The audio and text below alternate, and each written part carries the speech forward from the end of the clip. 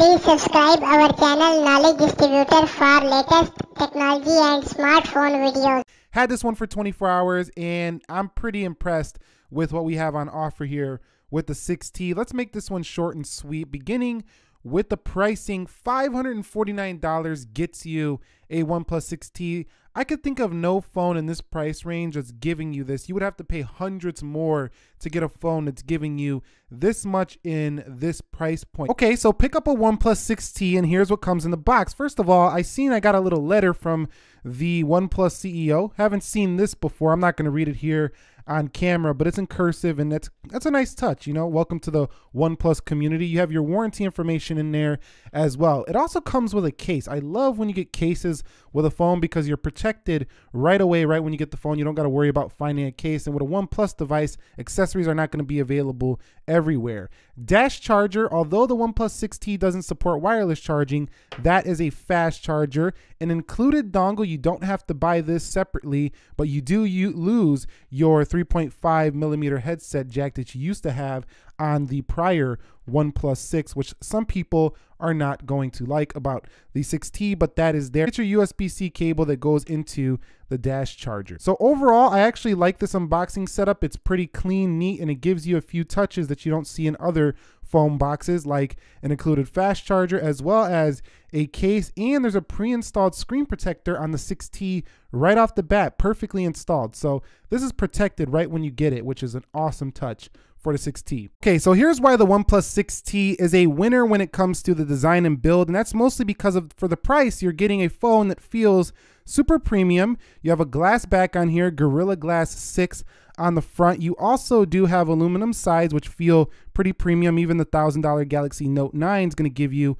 aluminum sides. So this phone feels very premium. And in the design category, they also managed to get the screen to body ratio to be even more with a smaller notch up at the top of the OnePlus 6T versus the OnePlus 6 and a smaller chin at the bottom. So it feels like a more all screen design than the OnePlus 6 ever was able to achieve. And that right there makes the OnePlus 6T to me a winner. It's also only 185 grams, so lighter than the XS Max, lighter than the Galaxy Note 9 as well. So a very light for a large device at 6.41 inches. Okay, so the reason why the OnePlus 6T is a winner in the display department is because it has an AMOLED screen or an optic AMOLED display that is. It has a bigger screen than any OnePlus device before it here, and it's 402 pixels per inch, so that's pretty respectable. Although it seems like OnePlus keeps putting the same quality panel on all their OnePlus devices instead of bringing a 2K screen. Uh, better battery life without a 2K screen, but I would still like to see that. But I find this one to be better calibrated than ever before, and you can also change those calibration settings in your display settings right here under screen calibration, P3, sRGB, default adaptive mode, and your own custom color. So the OnePlus 6T has a, a lot of nice tweaks you can do to its display and it's also very large. You can also hide that notch if you just hate notches altogether, even if they're like this little droplet notch right here. So if we go down, you can go to notch display and you can go ahead and get rid of it. So when watching videos on this display as well, you can see that the chin is a little more noticeable than on phones that bring it all the way to the edge. But over here, this is a lot less distracting than the thicker notch you've seen on the OnePlus 6. So it just feels like you have closer than ever to an all-screen phone, which I really do love about this phone. And okay, so the OnePlus 6T is a win when it comes to software due to the OnePlus launcher combined with the Android 9 Pie latest software. Right away, you're going to notice the way you do navigate through multitasking is side to side now, very similar to the Google Pixel. Now, heading into settings, there's a lot of useful tweaks in here as well. If you have some accent colors as well to make this more personal than ever, you also have an ability to change to whatever specific color you do like. You also have different themes, so you can make this a dark theme at night. You can make it a colorful theme.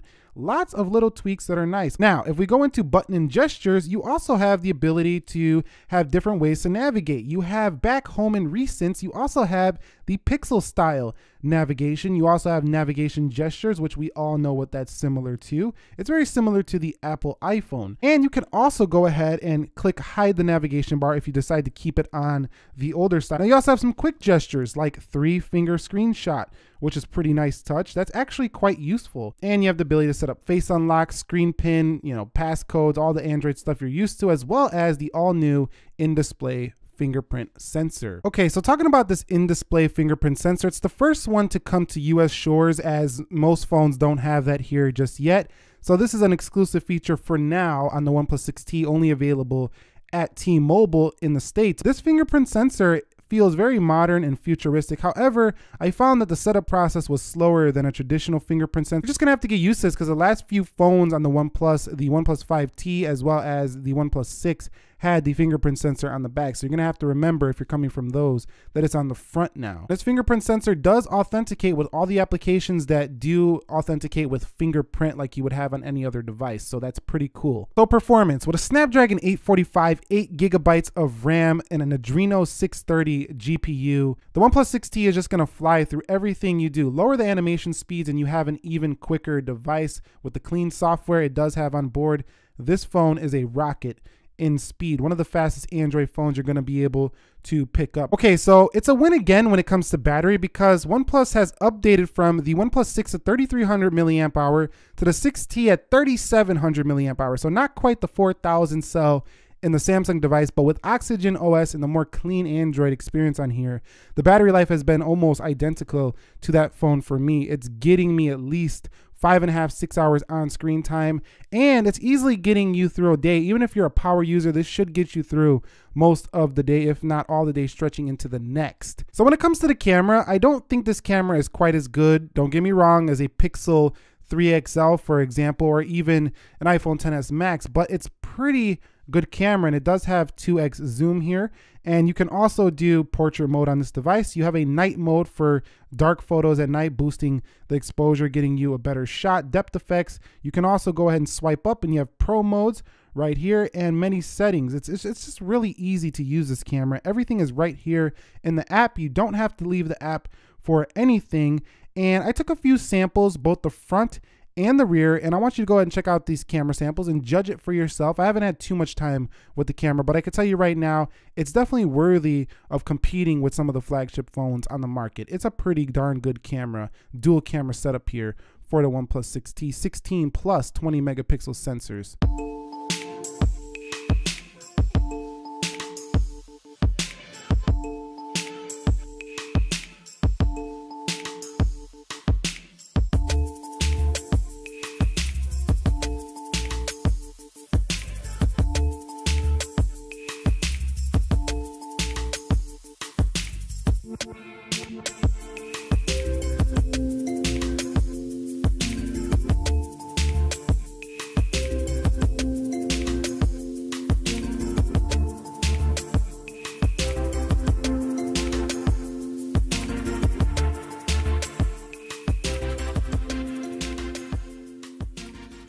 Okay, so when it comes to audio on the OnePlus 6T,